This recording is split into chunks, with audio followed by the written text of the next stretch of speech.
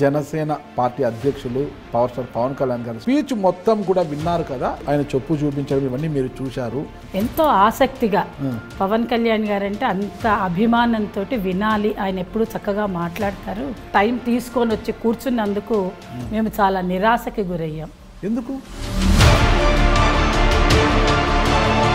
నాకు మొదటి భార్యతోటి వర్కౌట్ కాలేదు కదా. అందుకని ఇది వదిలేశాను నేను.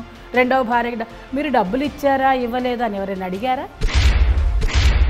మన హిందూ సంప్రదాయం ప్రకారం అంటే ముప్పై మంది అంటే అంత- అంతమంది ఆడవాళ్ళు ఒక రెడీగా ఉన్నారనే కదా ఆయన చెప్పడం. చెప్పులతో కొడతాను. మీరు రండి మనందరం యుద్ధం చేసుకుందాం. ఆడవాళ్ళంటే మీకు అట్లా ఒక ఓ వస్తువులాగా చూస్తున్నారా? ఏం భావజాలం అండి అది? రాజకీయంగా ఎదుర్కోవడం వేరు. మాకెందుకండి? రాజకీయంగా ఎదుర్కోండి.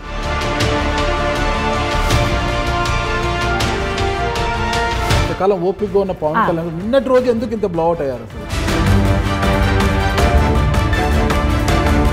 ఆయన పర్సనల్ ఎవరండి? క్వశ్చన్ చేస్తారు. ఈ వర్కౌట్లు వీటికంతా కూడా స్థానం ఉందంటారు ఇవన్నీ? ఒక స్త్రీని ఎవరైనా సరే నిన్నంతా పొద్దంతా అదే మాటలు అదే మాటలు అదే మాటలు మేము వినలేకపోయాం అసలు. రాజకీయ నాయకులు ఏమైనా చేయొచ్చు అంటారా మన హిందూ దేశంలో మహిళలు అంత తేరగా ఉన్నారంటారా? మేము ఏది మాట్లాడినా చెల్లుతుంది అనే మాట మాత్రం చాలా చాలా చాలా తప్పు.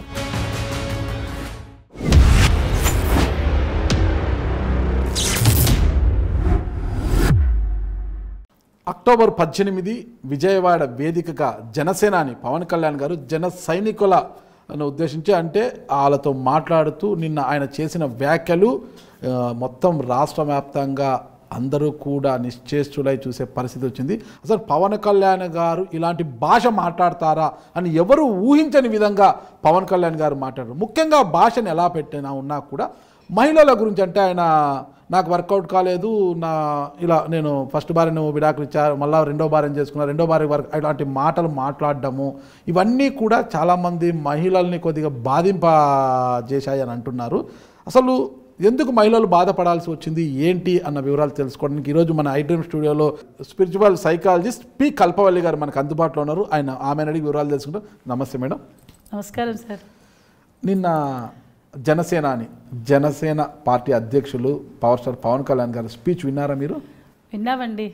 ఎలా ఉంది? అసలు ఆ స్పీచ్ మొత్తం కూడా విన్నారు కదా? సరే ఆయన భాష ఆయన బాడీ లాంగ్వేజ్ ఆయన చెప్పు చూపించడం ఇవన్నీ మీరు చూశారు.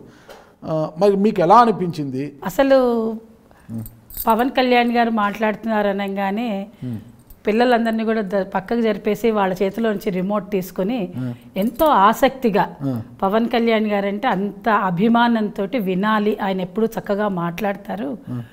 ఎంతో ఆనందంగా ఉంటుంది. విందామని వచ్చి టైం తీసుకొని వచ్చి కూర్చున్నందుకు మేము చాలా నిరాశకి గురయ్యాం. ఎందుకు? ఎందుకని నిరాశకు గురయ్యంటే ఆయన అంత ఆవేశంగా మాట్లాడడంలో ఎంతసేపు తను చాలా విషయాలలో ఆడవాళ్ళని కించపరిచేటట్టే ఉంది. ఇప్పుడు వారి పర్సనల్ విషయాన్ని మాట్లాడడానికి ఎవరికీ హక్కు లేదు. వారి ఇష్టం అండి వారు రెండు పెళ్ళిళ్ళు చేసుకున్నారా మూడు పెళ్ళిళ్ళు చేసుకున్నారా మేమెవరము ఏమీ మాట్లాడాం కానీ పెళ్ళిళ్ళు ఎందుకు చేసుకున్నారో ఏది ఏది కారణంగా చేసుకున్నారో నాకు వర్కౌట్ కాలేదు అనే పదము అది ఆడవాళ్ళని కించపరిచినట్టుగానే ఉంటుంది. అది ఎందుకంటే వర్కౌట్ బాధించింది? ఇప్పుడు ఒక భార్యాభర్త పెళ్ళి చేసుకున్నామన్న తర్వాత వర్కౌట్ ఏంటండి? వర్కౌట్ కోసం అనే ఒక బంధం ఉంటుందా? భర్త భార్య అనే మాటలో వచ్చినప్పుడే మీరు ఎంతో పవిత్రమైనటువంటిది. ఎక్కడున్నాం మనం? హిందూ దేశంలో భారతదేశంలో ఒక హిందూ ధర్మాన్ని సనాతన ధర్మాన్ని పాటించేటువంటి మన దేశంలో వాళ్ళ ఇంట్లోనే ఉన్నదండి. సనాతన ధర్మాన్ని పాటించేటువంటి గుణం ఉన్నటువంటి ఫ్యామిలీ నుంచి వచ్చారు ఆయన. అటువంటి వాళ్ళు నేను నాకు వర్కౌట్ కాలేదు కాబట్టి వదిలేశాను అనే మాట ఎందుకండి వాడెవడో అన్నాడు. మీకు అది- మీ పర్సనల్ ఇష్యూ మీరేం చెప్పాలప్పుడు? ఇది నా పర్సనల్ అయ్యా నా సంగతి నీకెందుకని ఒక మాటతో తీసేస్తే ఆయన సంస్కారవంతుడై ఇంకా కాస్త పెద్ద పెద్దవాడిలాగా చూసేవాళ్ళు అందరూ కానీ ఆయన ఎందుకంటే అందరికీ ఎక్స్ప్లెనేషన్ ఇవ్వాల్సిన అవసరం ఏంటి? నాకు మొదటి భార్యతోటి వర్కౌట్ కాలేదు కదా అందుకని ఇది వదిలేశాను నేను. రెండవ భార్య మీరు డబ్బులు ఇచ్చారా ఇవ్వలేదా అని ఎవరైనా అడిగారా? వాళ్ళకేం అవసరం? ఇవ్వకపోతే బాధపడేది ఎవరు? ఆ అమ్మాయి. అయినా డబ్బుల కోసం పెళ్ళిళ్ళు చేసుకోరండి ఆడపిల్లలు. ఒక ఆడపిల్ల ముందరకు వచ్చింది భర్త పెళ్ళి చేసుకున్నాను అంటే అర్థం ఏంటంటే కాపురం చేయడానికి వస్తుంది అంతే తప్ప భర్త డబ్బులు ఇస్తాడంటే డబ్బులు ఇస్తే భార్య ఎందుకు అవుతుందండి వేరే రకంగా చూస్తాంగా? ఇప్పుడు ఆడవాళ్ళందరినీ మీరు వేరే రకంగా చూసేటట్టు మాట్లాడితే అది యూత్కి ఏమని పోతుందండి? పవన్ కళ్యాణ్కి ఉండేటువంటి ఫ్యాన్స్ అందరూ యూత్. వాళ్ళందరూ ఏమనుకుంటారు ఆహా పర్వాలేదు. ఇంకేముంది? పెళ్ళి చేసుకోవచ్చు. ఇప్పుడు ఆయనే మా లీడరే చెప్పాడు మాకు. ఒకటి కాతే రెండు రెండు కాతే మూడు అంటే ఇంకేంటండి? దాని యొక్క వివాహ బంధం ఏమిటి ఆ పవిత్ర స్థానం ఏమిటి ఆడవాళ్ళ యొక్క విలువ ఏంటి వాళ్ళ జీవితం ఏంటి అంటే డబ్బులు ఇచ్చేస్తే వచ్చేస్తారనేనా? చెప్పండి మీరు చెప్పండి. మీరు కూడా ఒక దీనిలో ఉన్నటువంటి వాళ్ళే కదా. ఎంత బాధ కలుగుతుందండి మాకు. ఓ ఆడపిల్లల్ని పట్టుకుని మీరు ఏం పర్వాలేదు నేను వదిలేసాను ఒకటే ఏంటి రెండు హిందూ ధర్మంలో హిందూ మ్యారేజ్ యాక్ట్లో ఒకటేనండి పెళ్ళి అంటే రెండవ పెళ్ళి అనే మాట అసలు లేదు ఆయన అంటున్నారు కదా రెండవ. పెళ్ళి చేసుకొని ముప్పై మంది స్టెఫినీలతో నేను తింటే దాని అర్థం ఏంటండి? వాళ్ళందరూ ముప్పై స్టెప్నీలతో ఉన్నారు కాబట్టి నేను రోజుకొకళ్ళని వదిలేశాను. కాబట్టి నేను నా ఇష్టం మూడో వాళ్ళని వదులుతా నాలుగో వదులుతా అంటే మీరు ఏం చెప్పదలుచుకున్నారు? అది చెప్పండి. మన హిందూ సంప్రదాయం ప్రకారం అంటే ముప్పై మంది అంటే అంత- అంతమంది ఆడవాళ్ళు ఒక రెడీగా ఉన్నారనే కదా ఆయన చెప్పడం. ఇప్పుడు వా అని ఆయన అన్న మాట ఏంటి? నేనైతే ముగ్గురికి విడాకులు ఇచ్చి పెళ్ళిళ్ళు చేసుకున్నాను. మీరైతే ఒక భార్యని పెట్టుకుని ఇంట్లో బయట ముప్పై స్టెప్నీలు అంటే ముప్పై మంది ఆడవాళ్ళని మీరు కించపరిచినట్టు కాదా? స్టెప్నీలు అండి ఆడవాళ్ళు? ఏది పడితే నోరు ఉంది కదా అని మాట్లాడేస్తారా అండి? ఆడవాళ్ళని పట్టుకుని మీరు స్టెప్నీ అన్నారంటే దాని అర్థం ఏంటి అసలు? ఇక మేము ఎక్కడ తలకాయ ఎత్తుకు తిరగాలి అసలు? ఆడవాళ్ళని ఒక మాట అనే ముందు ఎంత ఆలోచించాలండి? అదే కనుక తల్లినో చెల్లినో మన సొంత వాళ్ళనో అంటే మనం ఎంత బాధపడతామో? పైగా మీరే అంటున్నారు. రేపు నేను దేశాన్ని పరిపాలిస్తా నేను ఒక పెద్ద నాయకుడిని. ఒక నాయకుడు ఎలా ఉండాలండి? ఇప్పుడు సినిమాలో మీరు మూడు గంటలు యాక్ట్ చేస్తేనే మీకు ఇంతమంది ఫ్యాన్స్ ఉన్నప్పుడు రేపు దేశంలో రాష్ట్రంలో ఉండే జనాభా అంతా కూడా మీకు ఫ్యాన్సే అవ్వాలిగా? అలాంటి సమయంలో మీరు ఆడవాళ్ళనే మీరు ఇట్లా అంటే మేమెందరం ఏమవ్వాలి? మేము ముప్పై ముప్పై మంది స్టెప్నీలు అంటారు రేపు అరవై మంది అంటారు. అంటే ఒక పార్టీకి అయితే ఒక రూలు మీకైతే ఒక రూలు ఆడవాళ్ళ దగ్గర? ఏదంటే అది మాట్లాడేస్తారా? అంటే మీకు చట్టం తెలుసు అనుకోవాలా? చ చక్కగా మీరే నిన్న వకీల్ సాబ్ని మీరే చేస్తే మేము చూడలేదా? ఎంత ఆనందపడ్డాము? మీకు అంత తెలుసు పోని సినిమా వరకన్నా మీరు అంత బాగా చెప్పగలిగారు. అలాంటిది పట్టుకుని మీ పర్సనల్ ఇష్యూని వేరే వాళ్ళ మీదకి ఎందుకు పెడుతున్నారు? ఆ పర్సనల్ ఇష్యూ చెప్పే విధానంలో మీరు ఎందు అసలు మీరు చేసుకున్నారో లేదో మాలాంటి వాళ్ళకి అసలు తెలియనే తెలియదు. తెలియని వాళ్ళకి మీరే అప్పచెప్తున్నారు ఎందుకండి? వా ఎదుటివాడు రాజకీయాల్లో ఎలా ఉంటుందో తెలుసానండి. రాజకీయాల్లో ఎప్పుడు కూడా కోర్టులో ఎలా వాది ప్రతివాది ఉంటారో పాలకవృక్షం ప్రతిపా ప్రతిపక్షం రెండు ఉంటాయి. ప్రతిపక్షం వాళ్ళు అనే మాటలు అంటుంటారు. మీరేం చేయాలి? మిమ్మల్ని మీరు ఎక్కడ డిఫెన్స్లో పెట్టుకోవాలి కంట్రోల్ చేసుకోవాలి. ఇవాళ రోజు మీరు వస్తున్నా అంటున్నారు. ఇంకో పెద్ద నాయకుడితో కలుస్తానని ఇవాళ మళ్ళీ మీరు మేమిద్దరం కలిసి నడుస్తాం అంటున్నారు. అంటే కలిసి నడుస్తాం అంటే మేము కూడా చంద్రబాబు నాయుడు గారి హయాంలో కూడా మేము చూసామండి. ఆయన మాట్లాడి మాతో ఎన్నోసార్లు మా కోర్టుకు కూడా వచ్చారు ఆయన. ఆయన ఎప్పుడైనా మాట్లాడినా కూడా ఎంతో చక్కగా ఆడవాళ్ళని గౌరవించి మాట్లాడతారు. ఎప్పుడు ఏ నాయకులు కూడా గౌరవించి మాట్లాడిన వాళ్ళ జోలికి మేము పోం కదండి. జగన్మోహన్ రెడ్డి గారైనా చంద్రబాబు నాయుడు ఇప్పుడు అలాగే జగన్మోహన్ రెడ్డి గారు అయితే ఎంతో చక్కగా నవ్వుతూ ఎప్పుడు ఇప్పుడు అప్పుడే ఆయన చిన్న పిల్లవాడే కదండి వచ్చింది. తండ్రి చాటు బిడ్డగా వచ్చినటువంటి వాడు రాజ్యం ఏలుతున్నప్పుడు ఆయన ఎప్పుడు ఆడవాళ్ళ గురించి కించపరిచినట్టు మాట్లాడలేదే. అక్కలారా చెల్లెళ్ళారానే మాట్లాడుతున్నారు. ఈయన ఎందుకు ఇలాగ మాట్లాడడం? ఈయనకి ఇంతమంది ఫ్యాన్స్ ఉన్నారని తెలిసినప్పుడు ఆయన ఏది పడితే అది ఎట్లా పడితే అట్లా. పైగా ఏంటి ఆ గెస్చర్స్ ఏంటి? ఆ తిట్టడం ఏమిటి? ఏది అసలు వచ్చిన మొదలు పెట్టినప్పటి నుంచి చివరి వరకు ఆలోచిస్తున్నాం ఏమైనా ఆపుతారేమో ఈయన వేరే రకంగా మాట్లాడతారా అని. అని అసలు మాట తీరులో కూడా చెప్పులతో కొడతాను. మీరు రండి మనందరం యుద్ధం చేసుకుందాం. ఎవరికైనా ధైర్యం ఉంది. ఇన్నాళ్ళు నేను హాయిగా ఉన్నాను. చాలా సాత్వికమైనటువంటి పవన్ కళ్యాణ్ని చూశారు. ఇప్పటి నుంచి అవన్నీ ఏంటండి? మాకేం అర్థం కాలేదు అసలు. ఆ మొత్తం ఆయన స్పీచ్ అంతా విని వినిన తర్వాత మాకు దిమ్మ తిరిగింది. అసలు ఎందుకు ఆడవాళ్ళ గురించి ఈయన ఇలా మాట్లాడుతున్నారు? పర్సనల్గా వెళ్ళి అడిగితే బాగుండని అంత బాధ అనిపించింది చాలా దిగులు పడ్డాం కూడా. అంటే ఇలాంటి వాళ్ళు రేపొద్దున ఏమైనా మాకు చీఫ్ మినిస్టర్స్ కూడా అవుతారా? అయితే మేము అందరం ఇవ్వాలి అంటే ఇంకా ప్రతి నాయకుడికి ముప్పై మందికి యాభై మందిని మీరే రెగ్యులరైజ్ చేసేస్తారా? లేకపోతే యూత్ అందరూ కూడా వివాహ వ్యవస్థని ఏం పోయిందిలే పర్వాలేదని అసలే ఇప్పటికే చాలా అధోగతి పడిపోతుందని మేము చాలా బాధపడుతున్నాము. ఇంకా వివాహ వ్యవస్థ పూర్తిగా ఇదైపోతుంది. ఒకటికి మూడు అంటారు నాలుగు అంటారు ఐదు అంటారు. ఒక సెలబ్రిటీ ఏదైనా ఒక పని చేసింది అంటేనండి అందరూ పాటిస్తారు దాన్ని. దేవుడి గురించి ఎవరు పాటించరు కానీ సెలబ్రిటీ ఏదైనా చేసింది అనగానే ప్రతి వాళ్ళు దాన్నే అనుసరిస్తారు. అంతటి స్థానంలో మీరున్నారు. మీ అదృష్టానికి మీరు నాయకులు కూడా అయ్యారు. మరి నాయకులు అయినప్పుడు ఎలా ఉండాలండి? ఎంత ఆనందంగా చెప్పాలి? ఎంత మా అందరికీ కూడా అందుబాటుగా ఉండే అన్నలాగా ఒక అన్నలాగో ఓ చెల్లెలా ఒక తమ్ముడు లాగనో ఒక కొడుకులాగనో ఉండాలి వయసుకు తగ్గ ఆడవాళ్ళందరికీ. కానీ మీరేమన్నారండి? మీరు వర్కౌట్ కాలేదు వర్కౌట్ వర్కౌట్ అనే మాట అర్థం చెప్పండి సార్. నాకైతే నిజం చెప్తున్నా నాకు అర్థం కాలేదు. నాకు వర్కౌట్ గురించి నాకు కూడా తెలియదు మేడం వర్కౌట్ ఏంటి సార్ అది? వర్కౌట్ అంటే ఏంటి మీరే చెప్పాలి దాని గురించి. అదేంటారు వర్కౌట్ ఏంటండి? భార్యాభర్తల మధ్యలో వర్కౌట్ అనే మాట ఉంటుందా అండి? ఎంతో ఆనందకరమైన జీవితం అండి.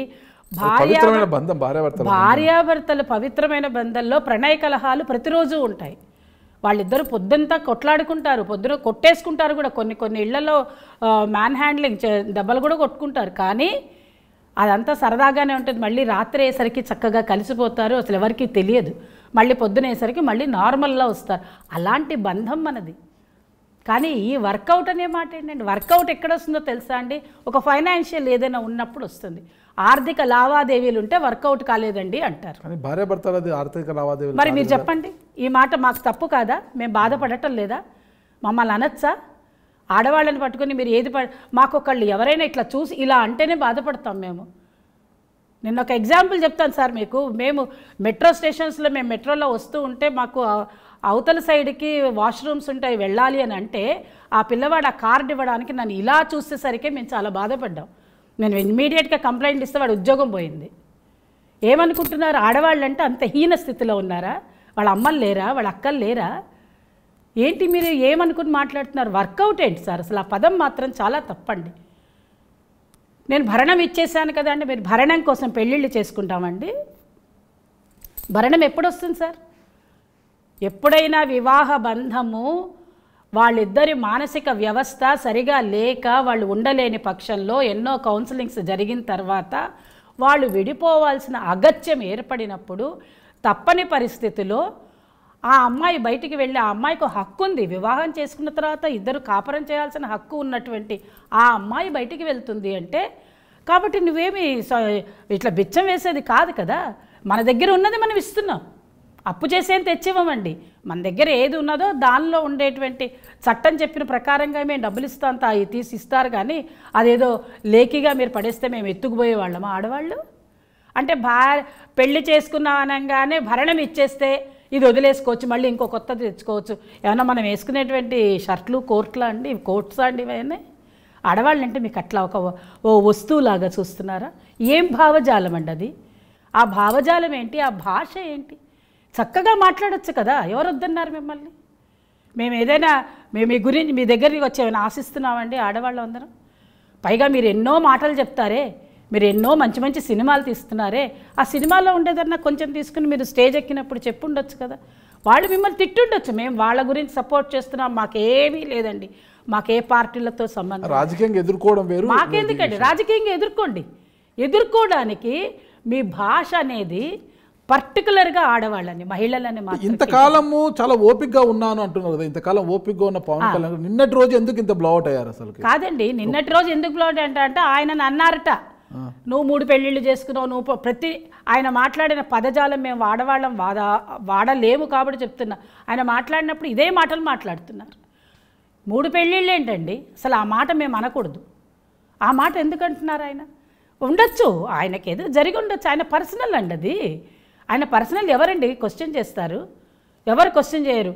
ఒక పెళ్ళి గురించి ఎవరు క్వశ్చన్ చేయాలి? వాళ్ళకి సంబంధీకులు ఉన్నటువంటి వాళ్ళు చేస్తారు. వాళ్ళకి ఏదైనా అన్యాయం జరిగి ఉంటే. అది వాడేదో పొరపాటుగా మీ మీద ఒక బురద చల్లడానికి ఒక రాయి వేయడానికి ప్రతిపక్షం వాడు రెడీగా ఉంటాడు. ఏది దొరకలేదండి మీ మీద అనడానికి. ఈ మాట అన్నాడు. దిస్ ఇస్ లైట్ తీసుకోండి ఏ? అంటే అన్నాడు. ఉన్నమాటే అన్నాడు కదా. ఏ? వీటితోటి నాకెందుకని మీరు దాన్ని తీసేయాల్సింది పోయి వాడెవరో అన్నందుకు మీ మీద మీరెందుకు బురద చల్లుకుంటున్నారు చల్లుకోవడమే కాదు మహిళలందరినీ కించపరచడం ఎందుకు? మీరు స్పిరిచువల్ సైకాలజిస్టే కాకోకుండా ఒక అడ్వకేట్ కూడా కదా మేడం మీరు? అవునండి. మీరు ఈ చట్టంలో ఈ వర్కౌట్లు వీటికంతా కూడా స్థానం ఉందంటారు? ఇవన్నీ అలాంటి మాటలు అనడానికి లేదండి. అవుట్ రేట్ ఆఫ్ మోడెస్టీ అండి ఇది. Section three fifty four applicable ఇది. ఏంటండి ఒక స్త్రీని ఎవరైనా సరే కించపరిచినట్టు మాట్లాడకూడదు గెస్చర్స్తో చూపించకూడదు. లైంగిక వేధింపులు అంటే శరీరాన్ని టచ్ చేస్తేనే కాదండి. కళ్ళతోటి చూసినా చేతులతోటి చెప్పినా లేదు మా కొంతమంది కళ్ళతో మాట్లాడతారు మీరు గమనించారో లేదు. లేదంటే వాళ్ళని వెనక నుంచి కానీ ముందు నుంచి కానీ కామెంట్స్ చేసినా వాళ్ళని టీస్ చేసినా ఇవన్నీ కూడా అవుట్ రేట్ ఆఫ్ మోడెస్టీ అనమాట దాని కింద చట్టం బ్రహ్మాండమైన శిక్షలు వేస్తుంది. అంతెందుకండి నిన్నగాక మొన్న వాళ్ళ ఏదో గరికపాటి నరసింహారావు గారును చిరంజీవి గారు ఇద్దరిది ఏదో చిన్న ఊరికేనే ఆయన ఏదో ఆపండి అన్నందుకే ఒక పొద్దున్నుంచి రాత్రి వరకు కొన్ని మీడియాలు అయితే చెప్పిందే చెప్పి చెప్పిందే చెప్పి నానా రచ్చ రంగామా చేసి పెట్టారే. అదొక చిన్న మాట. వీళ్ళు ఇలా మాట్లాడితే బాగుందా అండి? ఆడవాళ్ళ గురించి నోటికి ఇష్టం వచ్చినట్టు నిన్నంతా పొద్దంతా అదే మాటలు అదే మాటలు అదే మాటలు మేము వినలేకపోయాం అసలు. ఏ టీవీ ఆన్ చేసినా ఏ సోషల్ మీడియా ఆన్ చేసినా అదేనా? ఇవాళ రోజు ఎవరు పట్టించుకోరా? అడగద్దు మాట్లాడొద్దని చెప్పేవాళ్ళు లేరా అండి? అంటే రాజకీయ నాయకులు ఏమైనా చేయొచ్చు అంటారా? అంటే అది పవన్ కళ్యాణ్ గారు ఓన్గా మాట్లాడినది కాదు అది స్క్రిప్టెడ్ ఎవరు ఆయనని ప్రొవోక్ చేసి మాట్లాడించారు అంటున్నారు. చాలా బాగా చెప్పారు సార్ మీరు ఈ మాట చెప్తారా లేదా అని ఆలోచిస్తున్నాను. అంటే మీకు ఎవరైనా చెప్తే మీ పర్సనల్ విషయాలు చెప్పేస్తారు సార్ నేను కూడా మీతో అడుగుతున్నాను కదా. మరి మీ పర్సనల్ చెప్పరే మరి? అంటే మీరు కూడా ఇలాగే చేస్తారా? నేను మిమ్మల్ని ఎవరైనా ఒకటికి నాలుగు సార్లు మిమ్మల్ని పిన్ చేస్తాను నాలుగు సార్లు మిమ్మల్ని రెచ్చగొడతాను. మీకు ఎవరైనా రాసిస్తే మీరు మాట్లాడతారా? మీ పర్సనల్ విషయాలు కూడా పక్క వాళ్ళు రాసిస్తారా అండి స్క్రిప్ట్? అంటే వాడెవడో చెప్తే మనం వినే పిచ్చోళ్ళలాగున్నావా స్క్రిప్ట్ ఎవరు? రాసేవారు సార్. అదే స్క్రిప్ట్ అంటే బాగా మాట్లాడతారు చూడండి కొంతమంది రాజకీయ నాయకులు. ఆహా చాలా బాగా రాశారు సార్ వీళ్ళకి అంటాం మనం. కానీ ఇది వాళ్ళ పర్సనల్ సార్ ఇది. పర్సనల్ని నువ్వు పర్సనల్గా చెప్పమంటున్నాం మేమైనా. ఇప్పుడు ఏం తప్పు పట్టటం లేదు. ఏ తప్పు మేము బాధపడుతున్నాం అంటే నీ పర్సనల్ని ఆడవాళ్ళందరి మీదకి మాట్లాడుతున్నాం మీరు పెళ్ళి చేసుకున్నందుకు మేమే మాట మేము మాట్లాడము. మీ పర్సనల్ మాట్లాడే అంతటి కుసంస్కారులం మేము కాదు. మీరు ఎన్నైనా వైసీపీ నాయకులు అన్నను ఇంకొకళ్ళని అన్నమను వాళ్ళ నోటికి ఇష్టం వచ్చినట్టు మీరు మాట్లాడి ముప్పై మంది స్టెప్నీలు ఉన్నారా యాభై మంది స్టెప్నీలు ఉన్నారో మీకు తెలుసా? స్టెప్నీ ఏంటండి? అసలు స్టెప్నీ అంటే ఏంటి? ఆడవారు మహిళ స్టెఫినీ ఇద్దరు ఒకటేనా? అదా అదేనా అండి? మీరు చూపించుకోదలుచుకున్నది మీ సంస్కారం హిందూ భారతదేశంలో మన భారతదేశంలో మన హిందూ దేశంలో మహిళలు అంత తేరగా ఉన్నారంటారా? అదే అంటున్నా తేరగా ఎవరు లేరండి. ఏ దేశంలో ఆడవాళ్ళు అలా ఉండరు. ఆడవాళ్ళు ఆ వృత్తి చేసేవంటి వాళ్ళు కూడా చాలా గౌరవప్రదంగా ఉంటారు. సెక్స్ వర్కర్స్ని వెళ్ళి మీరు ఇంటర్వ్యూ చేస్తే మీకు తెలుస్తుంది వాళ్ళు ఎందుకు ఆ పరిస్థితికి వచ్చారు అనేది. వాళ్ళైనా ఎవరి కోసం చేస్తున్నారు ఎందుకోసం చేస్తున్నారు? మీరు దాని గురించి మీరు ఆలోచించాలి. అంతేగాని ఏదో మీరు మీకు మాకు అవ అవకాశం ఉన్నది మేము మాట్లాడగల స్థితిలో ఉన్నాము. ఒక పార్టీకి మేము అధినేత కాబట్టి మేము ఏది మాట్లాడినా చెల్లుతుంది అనే మాట మాత్రం చాలా చాలా చాలా తప్పు. ఆడవాళ్ళని ఏది పడితే అది ఎట్లా అంటే అట్లా మాట్లాడకూడదు. మీరు ఏదైనా మాట్లా మమ్మల్ని పూలతో పోల్చి మా ఇష్టం వచ్చినట్టు మమ్మల్ని అనడం ఏదంటే అది ఎవరైతే మీకు ఎందుకండి మీరేది చెప్పదలుచుకున్నారో నేరుగా చెప్పండి. ప్రజలకు అది చెప్తే వాళ్ళు అర్థం చేసుకుంటారుగా. అర్థం చేసుకునే స్థితిలో వాళ్ళు లేరా? మీరు చక్కగా గౌరవించండి. ఆడవాళ్ళని గౌరవించి మాట్లాడండి. మీరు ప్రతిపక్షానికి కూడా చక్కటి జవాబు ఇవ్వగలిగితే బ్రహ్మాండమైనటువంటి ఇది వస్తుంది మీకు. అంతేగాని మీరు ఎలా పడితే అలా మాట్లాడితే ఎట్లా సార్? నిన్నటి పవన్ కళ్యాణ్ ఓవరాల్ స్పీచ్లో స్పీచ్ ఎలా ఉన్నా మహిళల్ని కించపరిచారు అని మీరు అంటున్నారు. అది మిమ్మల్ని బాధింపజేసింది అని అంటున్నారు మీరు. అయితే దాంతో ఓవరాల్గా పవన్ కళ్యాణ్ గారి మీద ఇంతవరకు మహిళలకు ఉన్న ఒక క్రెడిబిలిటీ ఓవరాల్గా తగ్గింది అనుకోవచ్చా పెరిగింది అనుకోవచ్చా తగ్గిపోతుంది సార్ ఆటోమేటిక్గా ఓకే. దీన్ని కనుక వారు ఎవరైతే గట్టిగా వింటారు ఎవరైతే పూర్తిగా ఆయనకి ఆయనకి కొంచెం ఫ్యాన్స్గా ఉంటారో వాళ్ళందరూ బాధపడతారు ఫస్ట్ స్లోగా ఇలాగే ఇలాంటి ఒక నా ఎందుకంటే ఇప్పటి నుంచి యుద్ధం కదండి. ఇంక సార్ మాట్లాడరు. ఇప్పుడు ఆయన యుద్ధంతోటే మాట్లాడతానంటున్నారు. సో ఎట్లాగో వైసీపీ ఉన్న రోజులు వాళ్ళిద్దరి మధ్యలో యుద్ధమే జరుగుతుంది అన్నప్పుడు ఇంకా మేమేమి ఆయన గురించి మాట్లాడగలుగుతామండి? మరి మాకు బాధరా అప్పుడు ఇంకా మమ్మల్ని ఎన్నిసార్లు తిడతారు? మా మహిళా లోకాన్ని. మాకు మహిళా లోకాన్ని బాధ పెట్టేటువంటి మాటలు ఆయన అనడం మాత్రం అది హర్షణీయం కాదు. అటువంటి సంస్కారం లేనటువంటి మాటలు కనుక ఆడవాళ్ళని ఒకటికి నాలుగు సార్లు అనడం మొదలు పెడితే అది వాళ్ళకి వాళ్ళకే జవాబు దొరుకుతుంది. మాలాంటి వాళ్ళని చెప్పే అవసరం కూడా ఉండదు. ఫైనల్గా ఒక స్పిరిచువల్ సైకాలజిస్ట్గా ఒక న్యాయవాదిగా మీరేం చెప్పబోతున్నారు? మీ డిమాండ్ ఏంటి అసలు దీని మీద? మా డిమాండ్ ఏంటి అని అంటే ఏ రాజకీయ నాయకులైనా ఈయనని కాదు ఏ రాజకీయ నాయకులైనా సరే మొట్టమొదటిగా వాళ్ళకి భాష మీద పట్టు ఉండాలి. ఏది పడితే అది సమాజంలో మాట్లాడకూడదు. భావజాలాన్ని కంట్రోల్ చేసుకుని మాట్లాడాలి. ముఖ్యంగా ఆడవాళ్ళ గురించి మాట్లాడేటప్పుడు ఒళ్ళు దగ్గర పెట్టుకుని గౌరవప్రదంగా మాట్లాడాలి తప్ప భారతదేశంలో స్త్రీని ఎలా చూస్తామంటే ఒక స్త్రీ మాతగా చూస్తాం ఒక దేవుడిగా చూస్తాం ఒక తల్లిగా చూస్తాం. అంతే అలాంటిది పోయి మీరు ఏది పడితే అది మాట్లాడితే స్త్రీ లోకానికి అందరికీ ఒక్కళ్ళకి ఇద్దరికీ కాదు మహిళా లోకానికే చాలా ఇబ్బందికరమైనటువంటి మాటలు అలా మాట్లాడడం. తప్పని మేము అంటున్నాం ఇంకొకసారి ఇలాంటివి మాట్లాడడం అనేది అంత ఆమోదయోగ్యమైనటువంటివి కాదు. అది ఆయన విఘ్నతకే మేము వదిలేస్తున్నాం. ఆయన ఏం చేయదలుచుకుంటారు ఏం ఎందుకంటే ఆయన అంటే మా అందరికీ ఇష్టం. అలాంటి చక్కటి నాయకుడు ఇలా ఇష్టపడుతున్న మీ అభిప్రాయం ఇప్పుడు ఎలా ఉంది పవన్ కళ్యాణ్ గారి మీద? అలా ఇష్టపడుతున్నటువంటి మేమే కొంచెం ఇబ్బంది పడ్డామండి. ఇక మీదట కూడా ఈయన ఇలాగే మాట్లాడతారేమో ఇక మేము ఆ పవన్ కళ్యాణ్ గారిని ఎలా ఫేస్ చేయాలి అనే ఆలోచన మాకు కొంచెం వెనక్కి తడుతోంది ఇంకా ట్వంటీ ఫోర్ అవర్స్ అయింది కొంచెం బాధ కలుగుతోంది. ఒక్క రోజులో పోదు కదండి ఒక ఇష్టత అన్నది. కాబట్టి అలాంటి మాటలు ఇంకొకసారి ముందు ముందు రోజుల్లో రాకుండా ఉండి తనకి తన విఘ్నతకే మేము వదిలిపెడుతున్నాం. ముందు రోజుల్లో ఆయన చక్కగా తన భాషని కంట్రోల్ చేసుకుంటూ ఇంకా బాగా ఉండాలనే కోరుకునే వాళ్ళమే కానీ పోట్లాటలు చేసుకుని మనిషిని యుద్ధము అనే మాట మాత్రం ఎప్పుడూ అనకుండా ఉండాలండి. ఏమవుతుంది అని అంటే ఎదుటి వాళ్ళని ప్రొవకేషన్ ఉండకూడదు. అది కూడా చట్టరీత్యా నేరమే.